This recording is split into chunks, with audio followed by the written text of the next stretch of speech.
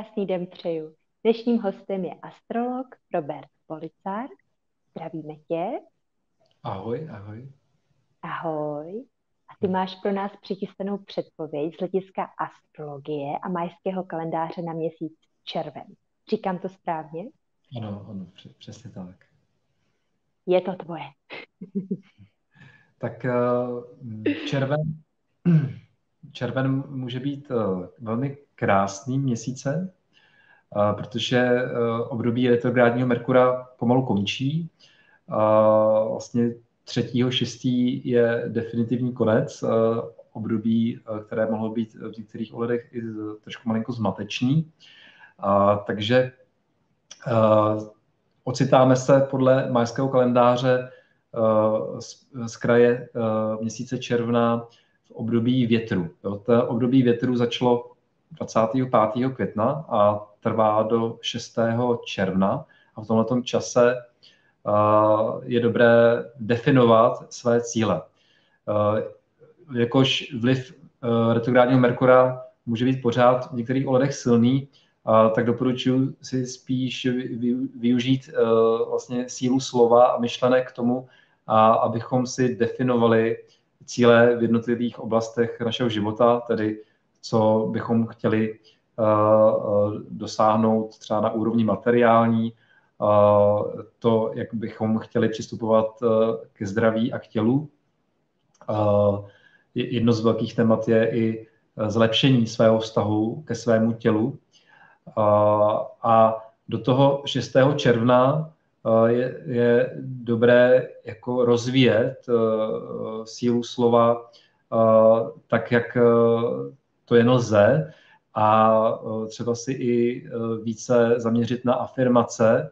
Jo, já mám rád třeba Louise Hay, jo, takže afirmace, které se týkají různých částí těla, s kterými máme problémy, protože každý člověk přijímá určitou část těla jinak a je dobré se zaměřit na ty problematické a dávat jim více, eh, více lásky. A slovo eh, v období června, hlavně v těch prvních dvou dekádách do toho 20. zhruba, má obrovskou sílu, protože blíženci vládnou komunikaci a ve spojení eh, s znamením větru je ta síla dvojnásobná. Takže doporučuji si vše zapisovat do nějakého zápisníku, pokud ho ještě nemáte, tak je dobré se pořídit.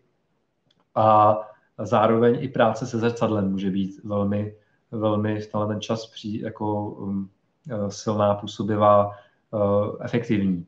Uh, takže uh, je takové cvičení, jo, kdy člověk si uh, dívá do, do zrcadla, může být třeba i až nahatý a oceňovat uh, své tělo, uh, jo, dávat si tomu tělu úctu skrze slovo, umět se pochválit. Jo, to zlepšuje vztah ke svým fyzickému tělu. Mnoho lidí se do zrcadla ani nepodívá a právě proto je dobré udělat trošku něco jiného a vyzkoušet si to. A zároveň je dobré získávat informace. Jo, to vlastně po celých těch 20 dnů, ale zvlášť ty eh, první dny do toho 6 června obzvlášť. Jo. Takže získat informace o tom, jak chci zdravě jíst, uh,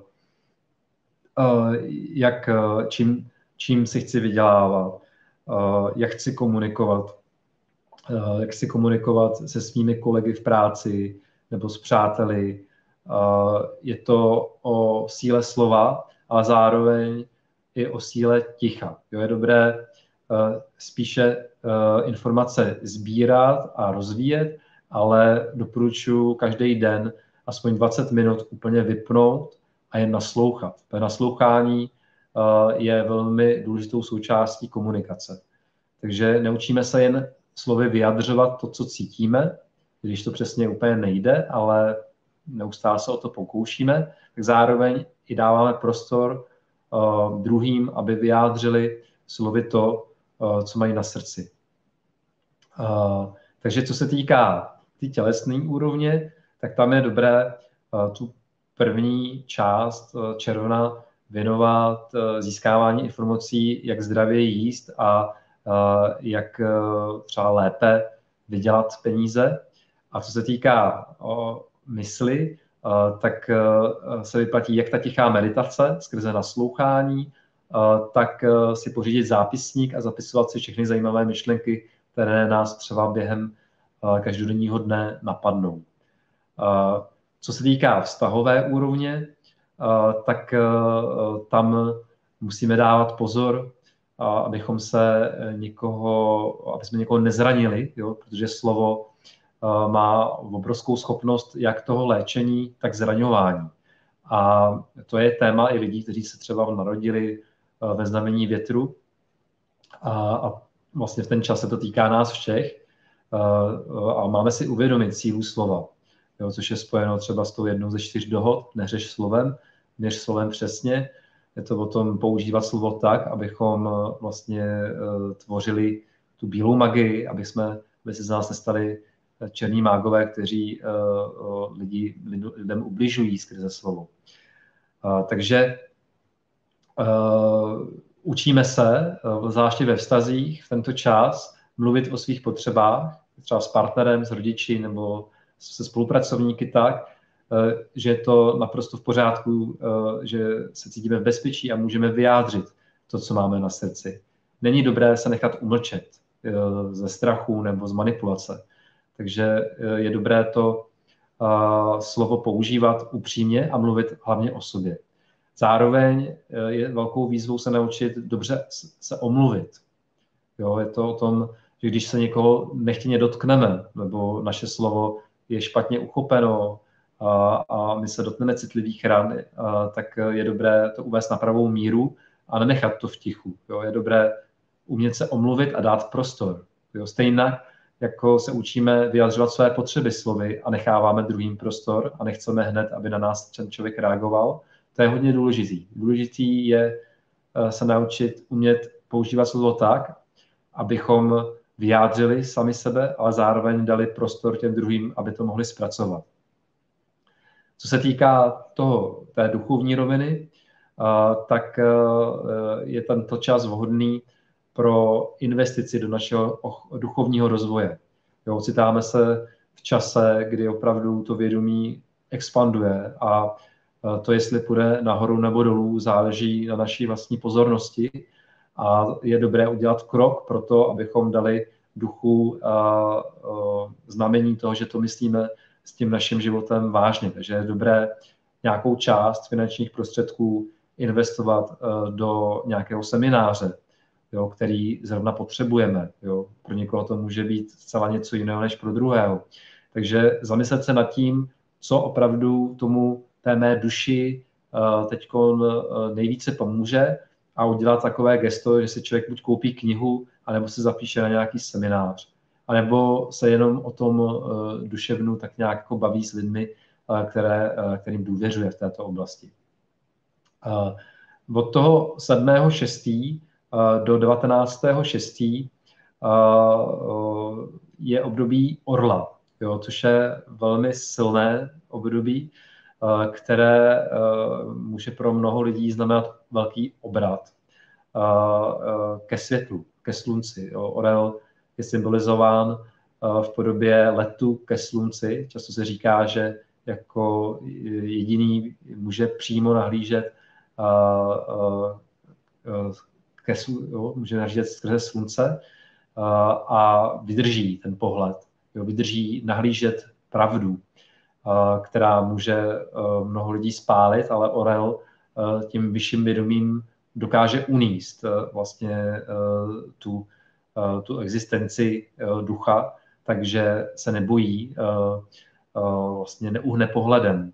A tohleto můžeme v tomto čase, jo, je to hlavní část toho června, jo, je právě v duchu orla, tak si uvědomit, že orel vlastně vidí všechno z výšky, vidí minulost, přítomnost, budoucnost a stejně jako orel i vy můžete nahlédnout na svůj život, jo, podívat se na svůj, na svůj film, na svůj příběh, to, jak jste se narodili, kudy jste prošli a kde jste teď a kam vlastně směřujete. A pro vizi, eh, pro orla je důležitá vize. Jo. Takže orel eh, je bez vize slabý, je potřeba najít směr, eh, mít jasně ukopenou vizi a je potřeba velká odvaha za tou vizí jít, takže během tohohle času je dobré se obklopit přáteli, kteří mají stejně odvážné myšlenky jako vy.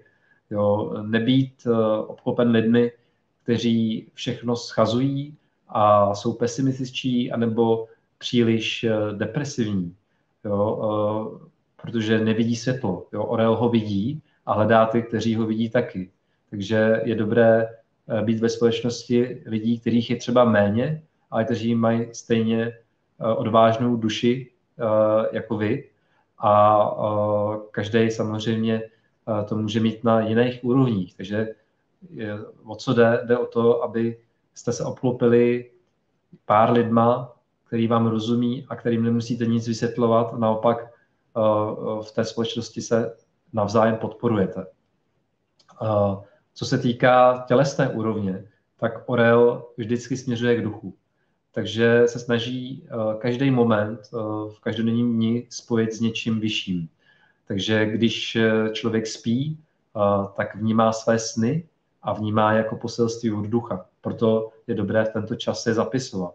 Velká výhoda tohohle času je, že retrográdní Merkur už není. Uh, blíženec je v souladu s živlem vzduchu a orel vzduchu vládne. Orel je hodně spojený, spojený živel vzduchu a ohně, ale převažuje vzduch.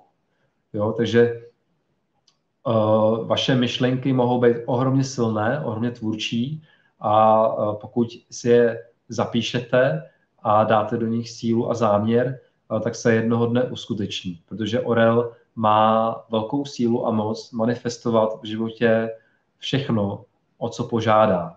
A proto je dobré si uvědomit svoje vlastní potřeby, svoje sny, touhy, ty nejvyšší touhy, po kterých toužíte a věřit tomu, že jich dosáhnete.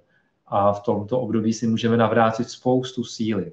Orel je znám svými léčivými schopnostmi, jeho peří léčí a chrání jo, před černou magií, dokáže léčit eh, nevylečitelné choroby. Jo, eh, je to opravdu jako totem zázraků. Jo, takže eh, modlitba je na místě. Jo, je to opět čas, kdy můžeme požádat ducha, aby nám pomohl, aby nám různými synchronicitami, náhodnými události dal najevo, že nás vidí a že jsme na správné cestě. V té Eh, tělesné rovině je dobré eh, právě eh, cokoliv děláte tělem, tak tomu dávat něco navíc. Takže když sportujete, chodíte do fitka, tak zkuste jogu. Jo, pokud jíte, tak zkuste to brát jako cvičení vděčnosti. Pokud spíte, tak zkuste, snažte se o lucidní snění, anebo se snažte o prorocké jasné sny, a, a komunikujte s duchem skrze sny. Uh, pokud se s někým milujete, uh, tak uh, zkuste to brát jako léčivý rituál.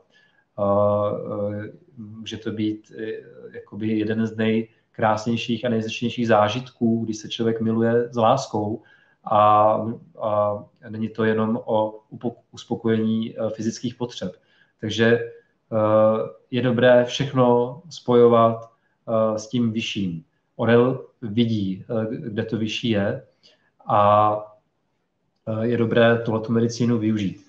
Eh, jediné, na co si dát pozor, je ztráta odvahy, podceňování sebe sama, vidění světa jako místo, které se nikdy nepoučí a bude vždycky skažené. Jo, Orel v sobě nosí velké ideály a je potřeba těm ideálům absolutně a naprosto věřit přestože vlastně jako eh, skutečnost momentálně třeba neodpovídá tomu, co ten orel vidí, eh, tak to nevadí, protože orel vidí to, co ostatní nevidí a to, co vidíme, je jenom výsledek toho kolektivního vědomí.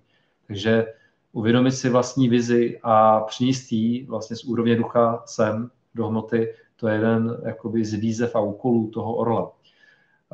Co se týká práce, tak nebuďte v práci, která vás nebaví, která vám dává jenom peníze, ale vlastně eh, ubližuje vaší duši. Mějte vysoce naladěnou laťku a jste, že tam, kde jste, je jen výchozí bod a můžete díky tomu být této práci momentálně vděční, ale nikdy nestrácejte cíl ze svého zorného pole, protože jinak můžete žít neuspokojivým životem, když zůstanete v práci, která vás vlastně nenaplňuje. A tady je to cvičení, které jsem mluvil o něm na začátku, že ten orlí způsob je, že nahlídnete na to, kde jste byli, kde jste pracovali, kde pracujete teď a jaké je vaše ideální zaměstnání. A umět ho definovat, vidět, kam směřujete a pak se vrátit tam, kde jste a z té přítomnosti jít přímo k těm snům a k naplňování toho vašeho velkého osudu. Co se týká ducha, tak je to jedno z nejsilnějších období, kdy se vyplatí opravdu žádat. Žádat, jo, Orel křičí jo, vlastně k duchu a žádá nejvyšší možný duchovní zážitky, žádá nejvyšší možnou hojnost, žádá naplnění všech možných potřeb. A není to o tom, že by člověk byl uh, hamižný, je to o tom, že si to jako se jako bytost ducha zaslouží. Jo? Že, že to je možné. Je možné dosáhnout všeho a že jediná, jediná, jediný omezení je v mysli, uh, která má v omezení v tom, uh, jak bylo dosud myšleno. Uh, takže překonejte své hranice a vězte, že když budete odvážní, tak doletíte přesně tam, kam máte, ale je potřeba udělat ten krok a vlítnout, dostáhnout křídla a už se neotáčet, důvěřovat. Eh, a pokud spadnete, eh, tak vědět, že vždycky zlétnete znova. Jo? Eh, orlí medicína je často náročná a člověk se učí i z pádu. Na druhou stranu nemusíte být furt v nějaké akci. Jo? Orel je znám tím, že se krouží kolem dokola a má výborný zrak i sluch a dokáže eh, v určitý moment vyvinout takovou sílu, že během chvíle se celý uh, život převrátí. Jo? Takže vlastně uh, váží asi jako do, kolem 4 a 5 kilo, jo? něco jako kočka, možná méně, a dokáže zabít i jelena jo? tou rychlostí, kterou dokáže srazit vlastně tu svůj kořist. Symbol čtyř drápů je symbol hmoty, takže vlastně orel, když lítá hodně vysoko a často není vidět a uh, uh, někdy se může stát, že člověk se na ten život jenom dívá a není schopen jednat, tak ta schopnost se překonat a vyvinout obrovskou sílu a ty své, ty své vize zmotnit, ta tady je. A ten červen je, je, je v duchu orla v duchu ideálů, vizí a vítězství světlo nad temnotou. Jo, takže e, tady je dobrý zabrat. Nepochybovat o sobě. Pak e, vlastně začíná kolem 20. je e, letní slunovrat. Ten, to je vlastně jako začátek léta to, jsou, to je významné období, je to zase další čas lásky. Den je vlastně nejdelší v roce, od této chvíle se bude zkracovat. A tak e, příroda, přírodní duchové jsou velmi blízko. Doporučuji tento svátek stejně jako ten před dvěma měsícema oslavit ve společnosti zpřízněných lidí, duš, duší, v dobré, v dobré společnosti eh, nejen viditelných, ale možná i neviditelných pomocníků. A začíná období králíka, jo, 20. června do 2. července. A to je další čas, který přeje hm, radosti, rozkoši, uh, hojnosti. Jo. Takže celý červen uh, je jakoby v duchu v duchu jakoby krásných medicín a zázraků. Takže doporučuji opět jakoby vrátit se k sobě, definovat si své cíle, uvědomit si, že zázraky se mohou dít a, a vidět to, co svět možná ještě nevidí. Takže uh, uh, důležité dny, které uh, jsou spojeny uh, vlastně s, s úplňkem ve Střelci je 14.6. Jo, to je vlastně týden zhruba před, tou, před tím slunovratem a ten úplněk je ve Střelci, takže osa blížence a střelce, učitel žák. To může být velmi silný den, kdy si člověk opravdu může uvědomit uh, svého vnitřního učitele i vnitřního žáka a napojit se na hlubokou moudrost, která je podporována právě medicínou orla.